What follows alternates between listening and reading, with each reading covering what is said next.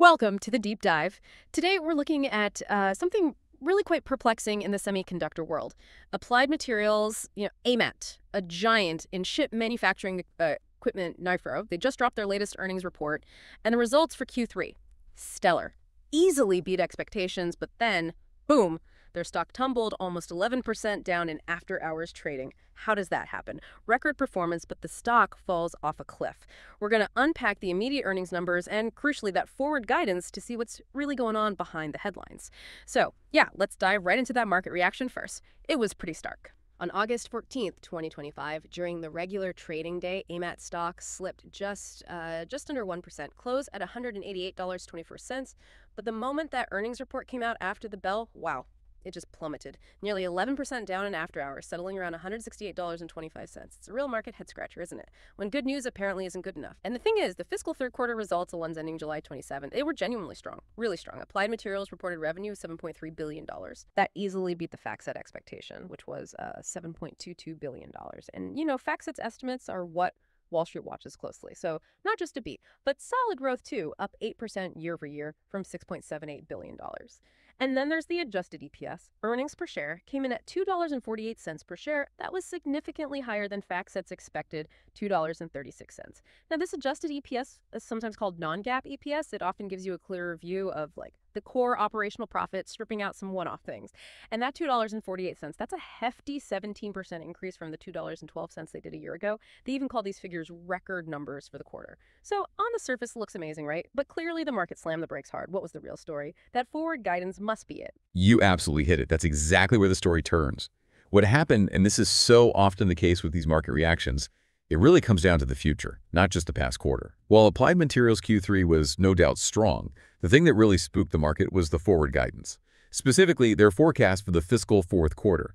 They forecast adjusted earnings per share around $2.11 and revenue around $6.7 billion. Now, those are the midpoints of their guidance range. Okay, now compare that to what Wall Street analysts were modeling for Q4. The street expected earnings of $2.39 per share on sales of $7.33 billion. So you see, Applied's actual forecast was noticeably lower on both earnings and revenue, lower than the market was banking on. And just to add context, this Q4 forecast is also lower than what they actually did in Q4 last year. Back then, it was 2.32 cents in EPS and $7.05 billion in sales.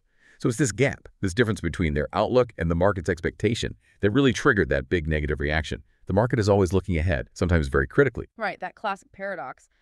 Great quarter, but a cautious look ahead just tanks the perception. So what reasons did the company leadership actually give for this sudden caution? Why put out what seems like a, well, a weak outlook? Yeah, they were pretty direct about it.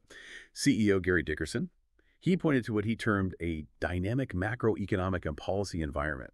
He basically said this environment is creating, and I quote, increased uncertainty and lower visibility in the near term, including for our China business. That's a pretty significant flag, right? It signals they're feeling the effects of bigger geopolitical and economic shifts. It's not just about the tech cycle anymore. Global factors are really playing a role. And the CFO, Brice Hill, he added more detail. He said the expected Q4 revenue decline is, quote, driven by both digestion of capacity in China and nonlinear demand from leading-edge customers, given market concentration and fab timing. EK, let's pause on digestion of capacity. What does that mean for you uh, the listener. It essentially means customers, especially in China, are busy using the equipment they already have installed. They're sort of working through that existing capacity before they place big orders for new machines. It doesn't necessarily mean long-term demand is gone, but it points to a temporary slowdown in new equipment buys as fabs get fully utilized. It shows how these global trade patterns and local spending can create these uh, pauses and nonlinear demand. That just means customer orders aren't coming in a steady stream. They're more lumpy fits and starts, makes forecasting harder. Hmm, that digestion of capacity in China really brings it home. You can see how these big global trends actually hit the ground running, affecting specific business segments. So how does that caution translate into their actual forecasts for the different parts of their business in Q4?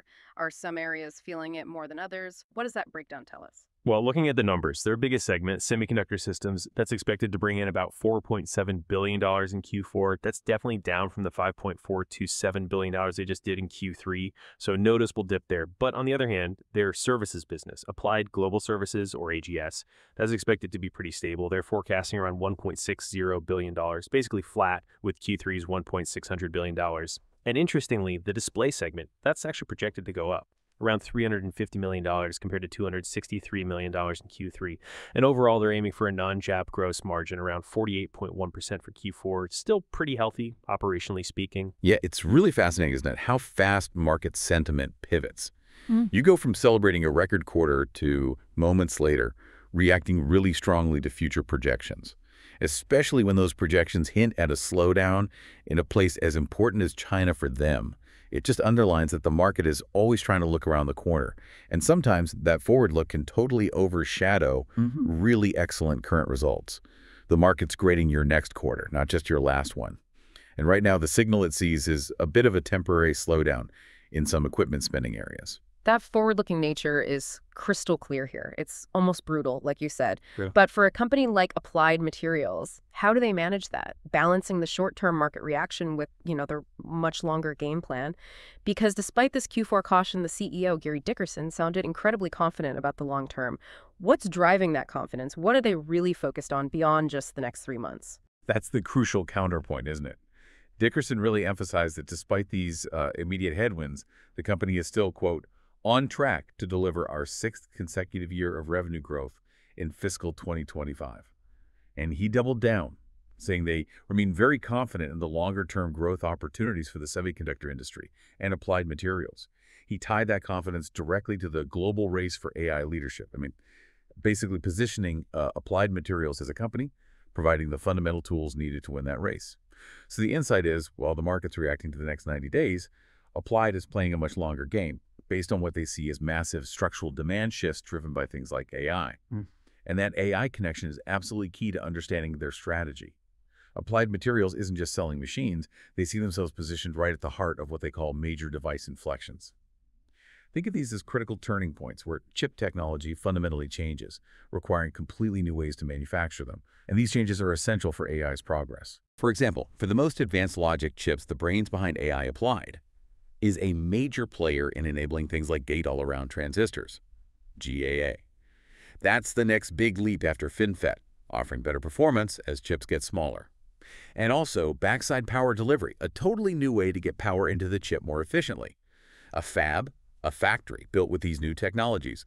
It actually increases Applied's potential revenue opportunity by about 30% compared to the previous generation fabs. Then you've got high-performance memory, DRAM, crucial for feeding data to those powerful AI processors. Applied says they're best positioned for the next big shifts here, like 3D DRAM and high-bandwidth memory HBM, where you stack memory chips vertically for incredible speed. Getting data moved faster is vital for AI. And don't forget advanced packaging. This is becoming huge. It's about how you connect different types of chips together efficiently in one package, maybe a logic chip with HBM. It breaks old limits. They expect more than double their packaging business to over $3 billion in the next few years, and they say their market share there is well above the company's overall equipment share. Their material science expertise is key here. And finally, power electronics. Think silicon carbide, Secotate or gallium nitride, JEN. These materials are much better than silicon in handling high power, which is essential for electric vehicles, but also for the massive data centers powering AI. Just the data center power chip market could hit $9 billion by 2030. Across all of this, their edge comes from materials engineering leadership deposition, etch, implant basically, manipulating materials at the atomic level to build these incredibly complex structures. It's deep science. Wow, that's a really powerful set of long-term technology shifts they're banking on. It paints a very different picture from just the Q4 dip. And it's not just abstract tech bets, right? They're putting serious money down on physical infrastructure too, especially in the US. Like that $200 million investment in Arizona for a new components facility, that adds to over $400 million they've already put into US infrastructure in the last five years. And they make a point of saying they're the largest U.S. maker of semiconductor equipment. That definitely signals a long-term commitment, well beyond just chasing the next quarter's numbers. That's exactly right. And look at their capital allocation, how they use their money. It reinforces that long-term view. Over the last 10 fiscal years, they've poured over $22 billion into R&D, research and development, plus another $6 billion in capital additions like new facilities. That's a huge reinvestment back into the business, into innovation. And beyond that, they're also focused on returning cash to shareholders. They aim to distribute 80 to 100% of their free cash flow over time. They do that through dividends, which have grown at about a 15% compound annual rate over the last decade, which is impressive, and also through share buybacks. They've actually reduced their total number of shares outstanding by a third over the past 10 years, and they still have nearly $15 billion left on their current buyback authorization. So connecting all these dots, the R&D spend, the infrastructure investment, the shareholder returns, it strongly suggests they're not pulling back because of near-term uncertainty. If anything, they seem to be doubling down on their long-term strategy, believing these current headwinds are temporary. That tells you a lot about their internal confidence. So we've really explored this tension today, haven't we? This clash between the immediate market shock over the Q4 outlook and Applied Materials' own deep conviction in its long-term game plan. How do those two things really interact in a company like this day to day? It's that constant push and pull. The market reacting instantly while the company tries to emphasize its fundamental strengths. And those strengths are real. I mean, Q3 was a record quarter. Growth across all three segments, semi-systems, AGS, and display. And they kept their non-GAAP gross and operating margins strong, showing they're running the current business profitably. And that Applied Global Services segment, AGS, is a really important anchor for them. It hit record core services revenue, and get this, it's seen 24 straight quarters of year-over-year -year revenue growth. That's six years. Plus, over two-thirds of that core services revenue comes from subscriptions. That creates a really stable, predictable income stream. That kind of recurring revenue helps cushion them when the equipment sales cycle dips. It adds resilience. Oh, and the display segment's profitability jump in Q3 operating margin went from 6.4% last year to 23.6% driven by OLED investments. That also shows strength beyond just the main semiconductor equipment business. Their CFO, Brice Hill, specifically mentioned they're navigating and adapting using their robust supply chain, global manufacturing footprint, and deep customer relationships. That points to their operational ability to manage through these choppy waters. And it raises a really interesting question for you, the listener, to think about. What does this specific situation with applied materials tell us about how sensitive the whole semiconductor industry is to global trade, to economic policy, even when the underlying demand for the technology itself like for AI, seems incredibly strong. Shows just how interconnected everything is. It's been a really fascinating look under the hood today. Thanks for walking us through that. We saw Applied Materials deliver this really exceptional Q3 performance only to have it immediately overshadowed by a much more cautious Q4 outlook. And that caution seems tied mainly to factors like that digestion of capacity in China and this less predictable or nonlinear customer demand pattern. Exactly. But, and this is the key takeaway perhaps, despite those near-term issues, the company leadership seems absolutely unwavering in their long-term belief. They're focused on these huge technology shifts, AI, advanced packaging, new materials, and their core strength in materials engineering. It's definitely a reminder that a single quarter's guidance, or the market's immediate reaction to it, doesn't always capture the full long-term picture. So as you think about all this, here's a final thought for you to consider. When you're trying to gauge a company's true long-term prospects, what carries more weight? Is it the snapshot of a single quarter's earnings guidance? Or is it the bigger picture, the strategic bets, the technological waves they're riding, the foundational investments they're making? Something to ponder until our next deep dive.